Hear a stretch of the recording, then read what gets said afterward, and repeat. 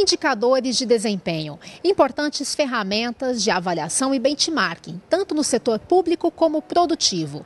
Este é o tema do programa Fóruns Permanentes de hoje, realizado na Faculdade de Ciências Aplicadas em Limeira, interior de São Paulo. Especialistas em gestão apresentam tendências e desafios na área.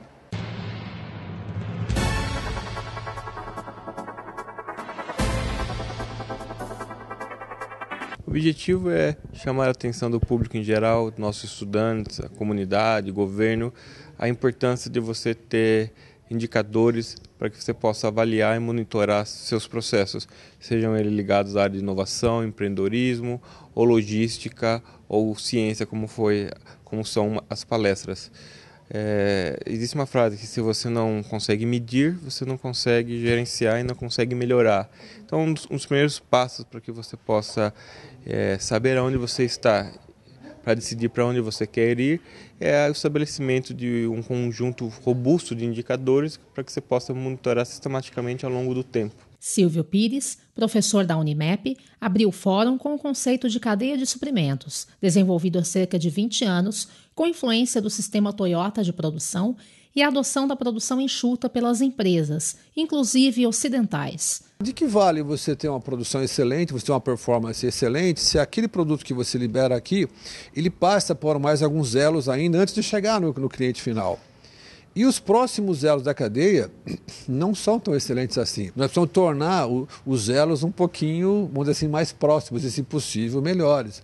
Então eu não tenho que me preocupar só com a performance interna da minha empresa. Eu não, não posso mais fazer uma gestão de cima para baixo, mandando falar, vai ser assim. Agora como é que nós vamos fazer? Né? É um processo em construção. Elcio Grácia, presidente da EPIC Supply Chain Council, apresentou o SCORE, modelo de referência de processos que junta técnicas de benchmarking, análise de boas práticas, engenharia de processos e análise de competências. A partir dos processos também existe conectado e derivado dos processos as métricas para você medir o resultado, avaliar o resultado de cada um desses processos, as melhores práticas as competências necessárias para as pessoas executarem os processos, os, os enablers, os facilitadores para alavancar o processo, normalmente são ferramentas de tecnologia, uh, tudo amarrado num único pacote. Então, é uma ferramenta para desenho de processos, é um padrão de mercado, uma coisa que existe desde 1996. Uh, ah, no Brasil, a gente, a gente trouxe isso para o Brasil há 10 anos atrás, a, a Unicamp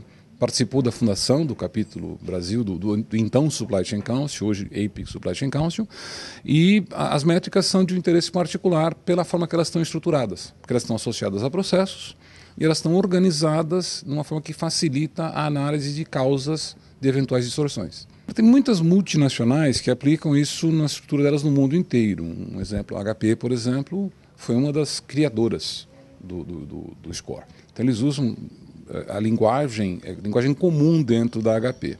A Embraer utiliza isso, a Petrobras utiliza isso, os Correios estão fazendo um projeto muito grande. Agora, ainda é uma coisa limitada a poucas grandes empresas. Quando, na verdade, a ferramenta não tem essa limitação, ela serve para pequenas empresas também. Um, um exemplo eu sou um consultor independente e eu uso a ferramenta no meu, trabalho, no meu trabalho de consultoria. O fórum também contou com participação internacional. O finlandês Erko Altio, que atua na Imperial College Business School no Reino Unido, apresentou indicadores de empreendedorismo em 130 países, inclusive o Brasil. Our index measures the quality of entrepreneurial process. So it doesn't measure the quantity. If you look at the quantity of self-employment, which is people trying to start new businesses, uh, the highest rate of self-employment globally is in Zambia, uh, where over 40% of the adult age population are trying to start new businesses.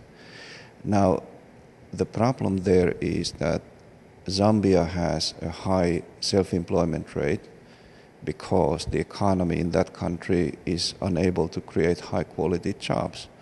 So what happens is people end up selling baskets and fruit in street corners. So we try to understand the quality of the process. It's the quality that matters in entrepreneur, entrepreneurship, not so much quantity.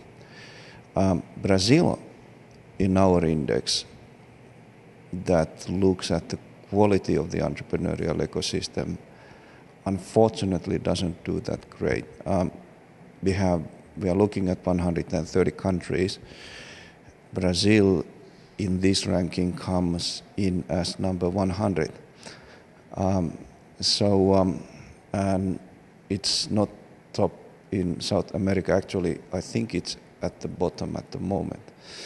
So there's a the positive news is that there's a lot to improve.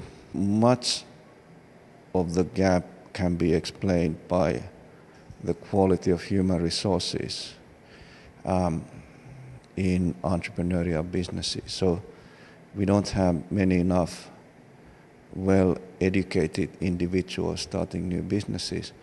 And then that reflects on the quality of the businesses that are being created and also on their growth potential. Este foi mais um programa Fóruns Permanentes, hoje realizado na FCA, a Faculdade de Ciências Aplicadas, situada em Limeira, interior de São Paulo. Especialistas em gestão abordaram o tema indicadores de desempenho, tanto para o setor público como produtivo. Fique ligado à programação da TV Unicamp por meio do nosso site e também no canal do YouTube. Até a próxima!